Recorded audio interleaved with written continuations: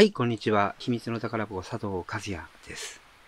前回、前々回と話が繋がってきて、自分は中学2年生の時に振られた女の子が高校2年生の時自分家の自宅にある日座ってました。その頃、視聴覚室に呼ばれた俺は自分の親友から、あの子は俺の彼女だよと言われました。そういう話をちょっともう奇想天外な話を思い出した、こういう話をしました。で、ある日、今度はもうちょっと時の流れが違ってきて、秘密の宝箱を書き終わって、で、過去のママなんかともこう、テレパシーで繋がって、どうやらテレパシーっていうのは過去にも繋がれるんだなぁなんていうことがもう分かってる自分が、まあタクシーにまだ乗ってるんですけど、タクシーの運転手やってるんですけど、まあ大体いつも夜中に付け待ちをするとこはもう大体決まって、そう、まあ赤坂、あ、そうね、246、一杉通り、あるいは六本木通り、六本木ヒルズの前あたり。あそれがまあ自分が好きだったのは青山骨董通り、表参道のあたりつけるっていう、大体そんな感じ。でいつも大体同じとこ。でよく覚えてるのは、その日は表参道にこうつけてる時に、暇だったんじゃないかな。まあすぐにお客さんが乗ってくればそんなことないんだけど、30分も40分もお客さんが乗ってこない時ってあるじゃない、夜中に。まあ、あの頃はもうタバコも吸ってないからね。タバコも吸ってないんだけど。お客さんをこう待って車の中でいると暇だから、自分の頭はちょっとイメージしちゃうんだよね。一番関心のあることに。で、一番関心になることなんでしょ？うそれはね、まさについこの間思い出したばっかりの今の話だよね。で、俺、こう、念がいっちゃうっていうかさ、そこを想像するだけで、その時は自分が超能力がついちゃってるから、行っちゃうんだよね。そうすると、また、何十年か前のあの日の、ママがこたつのこっち側に座って、それで、彼女がこっち側に座って、話をしてる内容が聞こえる。で、これはね、自分のこの超能力でもって聞いてるんだから、本来俺が知らなかった内容なわけ。で、なんか二人がこう話してるのを、俺はタクシーの車の中で聞けるわけ。それでこう、ああじゃねえ、こうじゃねえって言って、で、何？私はいつ別れてもいいんですって言って、S 君と、なんて話して。でもあんたもう、あれだろ？もう3年も付き合ってんだろ？なんて。で、この間、ついこの間、まあ、こんなこと言わない方がいいのかな これ言うのやめっかな。まあいいや、彼女はもうこの3年間ずっとそを、和也さんに捧げるんだって言って、あの、自分の彼氏にももうそれを承諾させて、そういうつもりで生きてきたんだって。でも最近、強引にやられちゃったんだって。俺の親友の S 君もう言ってたよ、それはね、ついこの間、俺ちょっと強引にやっちゃったんだよって言うから、俺は首絞めてさ、って S 君言ってたらさ、和也、でもさ、和也の彼女じゃないんだよってこうやって言うわけ。もうそりゃそうよね。僕の彼女だよって言うわけ。そりゃそうよね。まあしょうがないね。ママも言うんだよ。この子でも、こういうふうに言うけど、あ、ちょまあそれはちょっとあれ、話がぐちゃぐちゃになっちゃったな。まあいいや。とにかくまあ、その彼女は、を俺にあげつもりで3年間守り通したけど、そういうことは叶わなかった。で、ママが、面白いからじゃあちょっとあの子呼んでみようかって言うから、へーって言ってて、いや、だってあんたあの子に会いたいから来たんだろ？って言うから、はいって言って話してんの。で、俺を呼ぶのよ。そうすると俺はびっくりするわけ。それで、え、なんでこんなとこにいんの？ってこう言うわけ。そうするとママが、なんでってお前、ここがお前の家だからだろう？って言うわけ。いや、そりゃそうだけど、こんなとこにいるのか？とこう思うじゃない。で、この間説明したように、あのことがあって、で、俺がもう階段を登っていくわけ。その後の二人の会話を、俺は今回聞けるわけ。車の中、自分の投資で。今あの子登ったろ？あれ、もう全部記憶ないよ。って、ま、あの、彼女に言うわけ。え、って言うわけ。あの、多分ね、あの子ね、階段登ってね、真ん中あたりじゃもう、今のこと全部忘れちゃってるよ。ってこういうわけ、ママが。階段の真ん中よりもっと下の方で忘れちゃってっかななんて言うわけ、ママが。え、なんでですかって。なんでってあの子そうなのよ。もうちっちゃい頃からずーっとそうなのよ。今さっき、あの子びっくりしてたけど、お前救世主なんだよなんていうのは、ママは毎晩、私は毎晩あの子に言って聞かせてたんだよって。だけど毎晩あの子は記憶ないのよ。だってあの記憶があると、それを察知して魔物とか霊体とか、例えば悪霊に察知されると、悪霊は、えー自分が取り付いてる悪いやつとかをそそのかして、俺の命を狙う。だから、例えば、神と悪魔の違いってここなんだって。神は、この男が大きくなったら犯罪をするぞと、人類を滅ぼすぞと分かっていても、それをやる前に彼を滅ぼすことはしないって。もしそれをやったら、生まれ変わりをさせた意味がないと。だから99%悪いことをするって分かってても、罪を犯す前に罰を当てることは神はしないって。ところが、悪魔側にはそういうルールはないから、こいつ生かしておくと、大人になったら救世主になるらしいぞってバレたら、大勢で寄ってたかって子供のうちにこいつを殺そうって考えるのが悪魔の考えだって。そういうわけで、俺は毎晩お母さんに、兄ちゃんお前救世主なんだってよとか、神の子なんだってよなんて言っても、その夜のうちに俺も忘れちゃう。それをママは俺を育てながらもう10年も見てきてるから、まあ何気なく言うわけ、そのこたつのとこで。あの子もあんたのこと忘れちゃってるよってこうやって言うわけ。でも、そこの目の前にいる彼女は、そのあまりにも不思議な話、リアルには感じないよね。ええって思ってると思うんでね。もう一回ママが、ちょっと面白いからもう一回呼んでみようかってこう言うわけ。いたずらで。で、それをもう一回呼ぶわけ。兄ちゃん、もう私たち外出るから、お店行くから、もう一回降りてきなって言うんだよ。そうすると、うーんなんて言って俺が降りてくる。そうすると、またさっきと同じで。え？なんでこんなとこにいんの？って俺言うわけ。そのママが、なんでこんなとこにいんのってお前、失礼だな、その言い方。ここはママの家だぞ。お前の家じゃないんだぞ。なんて。さっきとちょっと違うこと言うわけ。そこで彼女またクスッと笑うわけ。リアクションは、俺のリアクションは一緒なんだね。言うことは一緒。だけどママが微妙に違うこと言ってるんだよね。それを彼女は笑い出しちゃいけないけど、ちょっと笑いそうになってるわけよ。クスッとね。で、俺は、その時には分かんなかったけど、なんかニッコニコしてる、ニッコニコしてると思うけど、なんでニッコニコしてるのかは分かんないんだよね。で、車の中で、青山の骨董通りで46歳になった俺は、やっとそれを、全てを知るわけ。自分の投資で。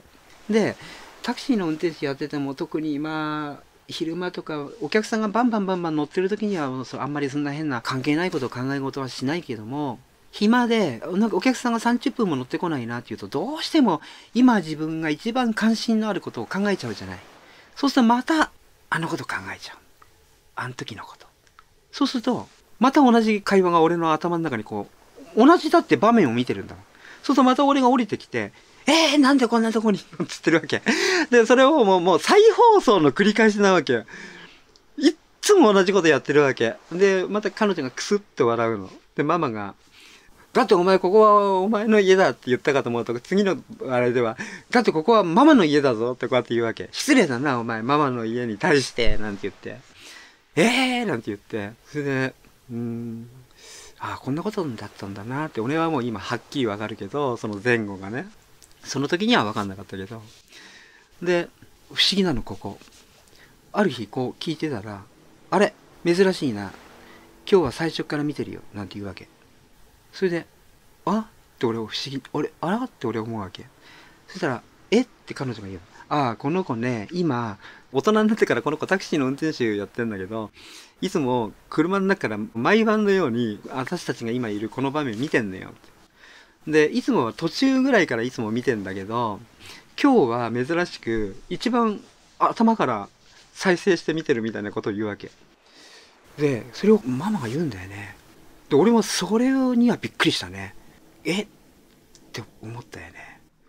それをね、今ちょっと喋ってても不思議。つまりどういうことなんだろう。俺はあの、通算あの場面を7、8回見てるとして、一番最初から見たことは多分2回か3回しかないんだけど、ママはそう言うんだよ。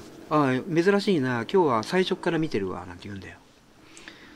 だけど、それを聞いてる目の前にいる彼女は、人生の中でたった1回のことなんだよ。だから、いきなりそれを言うわけだよ。あれあの子頭から見てるわ。で、彼女が、え、な、なんですか？いや、あの子ね、今ね、タクシーの運転手やってんだよって言うとね、彼女がこう言うの。え、なんでそんなことやってるんですか？って。そりゃそうだよね。自分の親にも救世主だって聞いてんのに、大人になった俺がタクシーの運転手やってるってどういうこと？ってなるから。ああこの子ほらあのなんか自分で芸能事務所とかそんなのなんかやって潰してで本を書くんだけどその時ちょうどタクシーの運転手やってんのよ説明してるわけああなんつってなんかねそういうことでちょっとやっぱりこれも不思議だよね。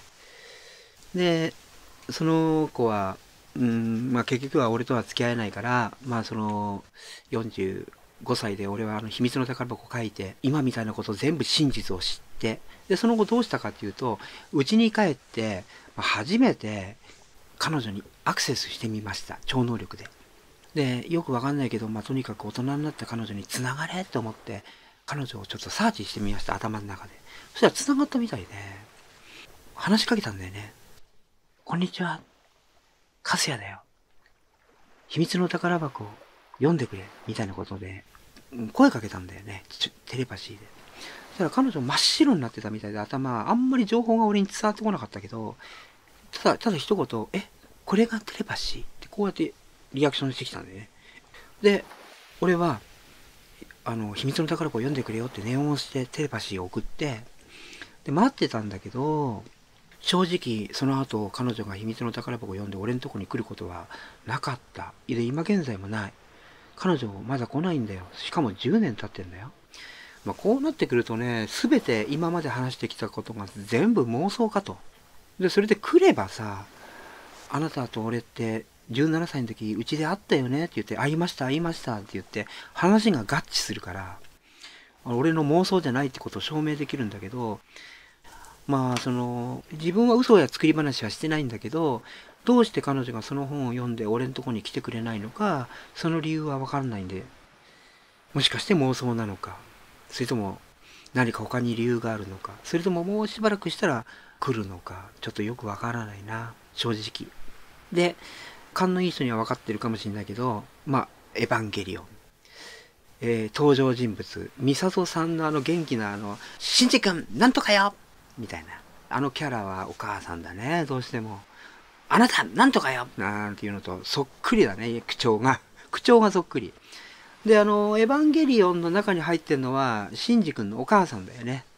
そこもちょっとこうどうなんだろう。ママが俺にべったり1年間くっついてていつでも話しかけてもそれでシンクロ率が高いよね。話しかけりゃすぐ答えてくれるもんね。そうお母さんはもちろん血を分けた親子なんだけどママっていうのは本当の親じゃないんだけどでもまあお母さんのお母さんだから血が繋がってはいるんだけどね。シンクロ率高いよね。エヴァンゲリオンは中に制御体として実のお母さんがいて、そしてシンジ君がそれに乗り込んで、そのお母さんとシンジ君が一体化して、シンクロ率が高まったところで、救世主としてこう動くわけじゃない。で、ある時、それを超えちゃうと暴走って言われるんだよね。その暴走って何なのかっていうのはあるね。つまり、お母さんの静止を聞かないで、シンジ君が暴走すると暴走って言うんだよね。で、このシンジ君っていうのはカタカナでシンジと書けや、漢字で神の子だよね。シンジだよね。まあ、こういうことを全部、こじつけだといえば、こじつけだよね。証拠もないし、エビデンスもないよね。で、うーん、レイちゃんははっきりとさゆみちゃんなんだよね。そっくり、あの、レイちゃんの顔っていうのは、さゆみちゃんの実際のショートカットのキャラがさゆみちゃんにそっくりだけど、アスカはじゃあ誰なんだと。快活で、和也くんのことをバカズヤバカズヤって呼んで、前のバージョンではね、えー、もっと早く本を読んで俺のとこに来るんだけど、彼女博士だからね、すごく頭のいい人で、えー、だから俺のことバカにすんだよね、付き合ってるんだけど、バカズヤバカズヤってね。そうすると、エヴァの中ではバカ信じバカ信じ言ってるよね。じゃあそれ誰なのかっていうと、えー、前回前々回から話をしてきた中学生の時の俺の片思いのあの女の子あれがエヴァで言うアスカだよねで14歳の時俺のことを投資したあの先生があなたは17歳で彼女ができるのよ。それは一つ上か一つ下よってこうやって予言してたじゃない？そうするとこれどっちかだって思って聞くんだけど普通の人は。俺もそうやって聞いてたけどどっちも正解なんだよ。なぜかというと、一つ上ならさゆみちゃんだし、一つ下なら彼女なんだよね。だから、あの、14歳の時のあの先生は、あその相手は一つ下か一つ上よって言ったんだよね。あれ分かんなくて言ったんじゃなく、まあ、要するにどっちかよってことなんだよね。で、どっちもが魂の絆で結ばれてる。だから、あの、エヴァンゲリオンでは2人揃ってるんだよね。うん。まあ、そういうこと。不思議？不思議じゃない？で、カジさんっていうのがエヴァンゲリオンに出てくるんだけど、後ろ髪縛ってて、ちょっとこう2枚目なクールな、ちょっとかっこいい感じ。あの感じにそっくり。この S 君っていう俺の親友が、俺のバンドではドラムやってたんだけど、スポーツが得意で、あの、バスケやってたんだよね。で背が高い。俺よりも高いから。えー、なんだっけあれ。あの、カジさんっていうのはちょっと背が高くて、ミサトと付き合ってるじゃない。ミサトと付き合ってるってのはおかしいけど。でもまあ、そこは違うね。でも、カジさんのキャラって二重スパイだったよね。確かエヴァの中で。二重スパイ。つまり、彼だけが、あっちの秘密もこっちの秘密も知ってるっていう立場で、それで、シンジ君に何か暗示的な情報を与えるような役柄だったような気がするんだ。エヴァの中で。カジさんが。でね、カジさんのことを慕って追いかけてる女の子がいるんだよ。それが、アスカだったよね。うーん。まあ、信じるも信じないも、あなた次第です。みたいになっちゃってるよね。なんだ、俺も関みたいな喋り方になってきた。関明夫みたいな喋り方になってきたところで、えー今日はこの辺で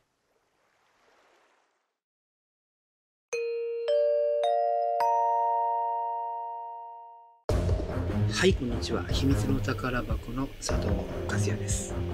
えー、一番最初にね、あのーすっごく面白い話いっぱいあるよってこうやってみんなにお話しさせていただきましたけども、まあ、本当にすっごい面白い話いっぱいあるんだけど、えーその話が出てきちゃうんだよね。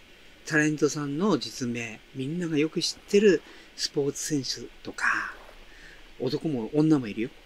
だから名前を出せば、もうきら星のような有名人たちの実名が出てきちゃって、で、そういう人たちと一緒に俺が富士山を登った時のエピソードとか、キャンプやった時のエピソードとか、まあ、そういういろいろな細々とした話が、名前を出せばほら顔が浮かぶから、え、あの女優さんがとか、え、あの歌手がとか、あの二枚目俳優が、え、そんなこと言ったの？あ、そんなことしたの？っていうエピソードだから、それは面白いよね。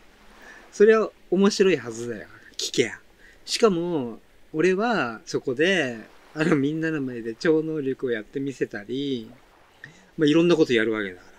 その時のその芸能人たちのリアクションで、この人がこんなこと言った、あんなこと言った、えーこの人がこんなこと言って頭をかいた、こんなこと言って怒られたとか、そういう話するんだから、それは面白いよ。ね。だけど、それを、そのまんまこれ、ラジオにするわけにいかないよね。そういう話は今までにもしてきたけども、それは、たまたま本を読んで、俺のとこに集まってきてくれた人たちと、お茶を飲んだりした時の世間話的な意味合いもあったよね。でもみんなでお笑いしたり、目を輝かせたり、面白い話いっぱいあるんだけど、まあそういう話が今後できるのかどうか、ちょっとわかりません。でね、この間から少し一つのアイデアがあるんです。それはね、このラジオトーク番組が最後はどんな話をするのかっていうところなんだけど、最後のタイトルをもう考えてます。最後のタイトルは、思いもよらない事実。まあそれがどのくらいになるのかわからないけど、ワン、ツーみたいな感じで、なんかちょっとこう話してみたいなと思ってます。